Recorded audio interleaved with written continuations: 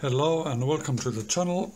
Um, in the previous video I showed you the use of the neural compute stick Movidius uh, on an Intel based computer uh, and it was running quite hard as it's now but moreover the image had a very long bad latency and it wasn't able to do very fast. Well uh, I then decided, okay, I want to try it on Raspberry Pi. And I used the stream infer and it demo of made in, it was written in Python and it required a separate USB webcam. I got it working, but it was really, really slow and a lot of problems. I'm using the Raspbian Stretch latest uh, version, which is supported, the latest version which is supported by the SDK.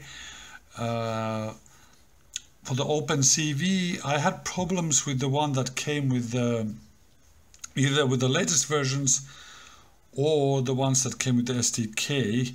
Uh, as I wanted to write the same StreamInfer demo using SqueezeNet uh, on just not using Python but using C, uh, actually C++, and I was uh, having some problems with OpenCV, quite a lot of them with different versions, and then I just put Synaptic to the stretch and installed the latest version I can get from the Synaptic Package Manager and use that open those OpenCV libraries instead.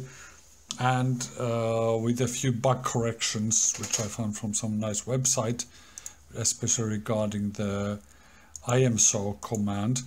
Well I got it finally working nicely uh, well, the code is looks pretty horrible. I just my main idea I took some parts from the examples by which Intel provides for opening and closing and providing the graph and everything to the stick and then took some from the SqueezeNet example, combined them together, modified it and tried to speed it up. I mean, there's still a lot of stuff. I noticed the more you put on OpenCV on the Raspberry Pi, the faster it will be able to do like some of the image preprocessing.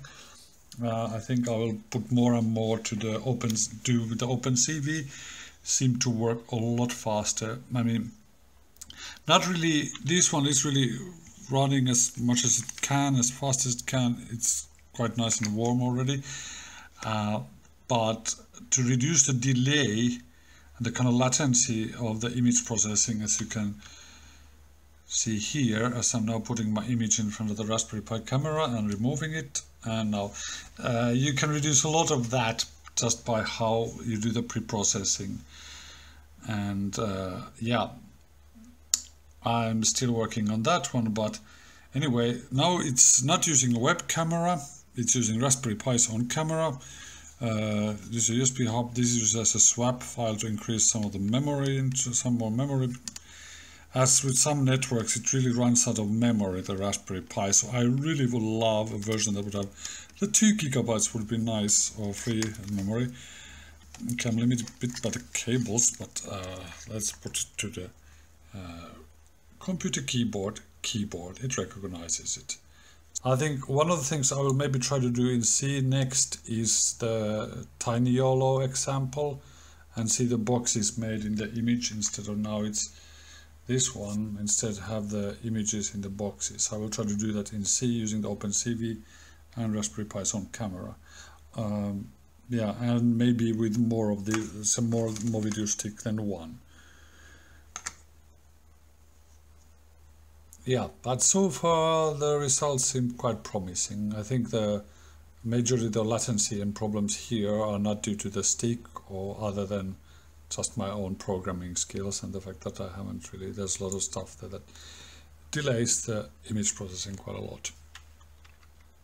But yeah, I still like this device and I think now with the new version of SDK, there's a lot of updates to different layers that it can handle, so I'm really looking forward to getting more of these sticks and more experimenting with this.